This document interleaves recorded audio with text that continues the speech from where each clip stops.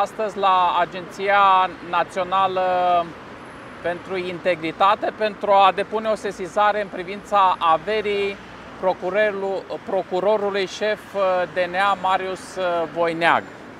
Domnul Voineag a declarat uh, într-un interviu că deține un ceas uh, în valoare de aproximativ 3.000 uh, de euro pe care nu l-am regăsit în declarația de avere. Probabil este în zona de bijuterii, este neclar.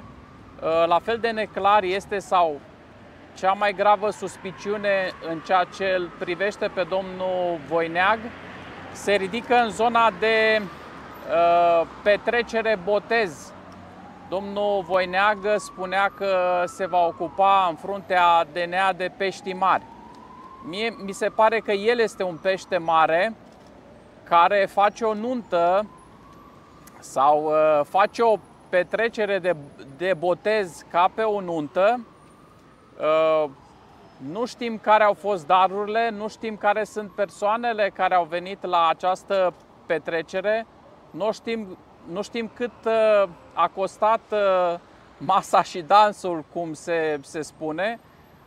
Domnul Voineag, în declarația de avere pe care o am aici, declară pe lângă multe terenuri, multe apartamente, Uh, multe conturi, este un bugetar de lux, domnul Voineag, șeful DNA, declară o petrecere de botez, repet, ca o nuntă, undeva uh, la 500 de mii de lei. Asta înseamnă 100 de mii de euro. Vă întreb pe dumneavoastră câți dintre cei care ați făcut vreodată o nuntă Uh, v-a costat cât petrecerea de botez a domnului Voineag, șeful uh, DNA. De ce ne ridică suspiciuni această declarație de avere? Pe lângă faptul că domnul Voineag poartă ceasuri la fel de scumpe ca Rareș Bogdan, ce este foarte bizară și ce este, ce este foarte ciudat sau este bizară activitatea domnului uh, Voineac de când a fost pus de Iohannis la șefia uh, DNA. Mai exact, domnul Voineac uh, a trântit un dosar care viza doi pești mari, doi generali SRI, care erau suspecți că ar fi semnat în fals niște achiziții în pandemie care nu intraseră în uh, patrimoniul, uh, patrimoniul Serviciului Român de Informații.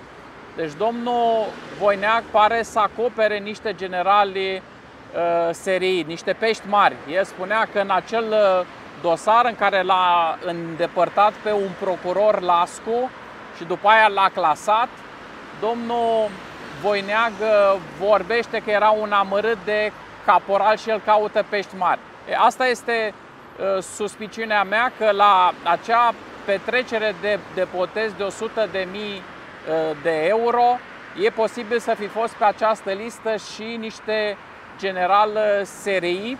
Trebuie să vedem cine au fost invitații la această petrecere, cine a dat darul și dacă acele daruri n-au fost un fel de taxă de protecție. Eu eu cred, așa cum domnul Voinea crede în dosarul vaccinurilor și eu cred că în această declarație de avere ANI poate găsi lucruri uh, foarte interesante care trebuie oricum uh, verificate foarte atent pentru că domnul Voineag trebuie să fie un exemplu de integritate, un exemplu de uh, moralitate.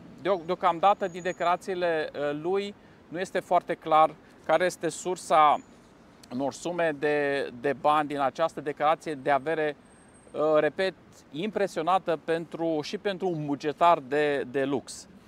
Uh, deci, astăzi, uh, la ANI, am depus o sesizare oficială cu privire la declarația de avere a domnului Voineag. Sunt multe neconcordanțe aici, aveți și numărul de înregistrare. Uh, rog uh, Ani să-și facă datoria, dar nu așa cum și-a făcut-o în cazul Dragnea. Pentru că și în cazul Dragnea am, am depus uh, o sesizare la Ani și le-a luat vreo 3 ani. Sper că averea lui Voinea, ca și averea lui Rafila, am depus o sesizare pentru acest bugetar de lux Rafila cu mult timp în urmă să se rezolve cât mai repede. Domnul Voineac pare a fi procurorul acestui stat cu epoleți, procurorul statului militocrat, așa cum spunea uh, jurnalistul uh, Pantazi. De ce? Voineag uh, rezolvă, înainte de a veni la DNA, între ghilimele, uh, dosarul de plagiat al lui Ciucă și apoi când ajunge la DNA închide un dosar suspect de corupție de la serii care viza doi generali serii de prim rang, adică doi pești mari. Deci domnul Voineac până acum, ca Ciolacu ne face din vorbe șmecherești, marile dosare de corupție ZAC.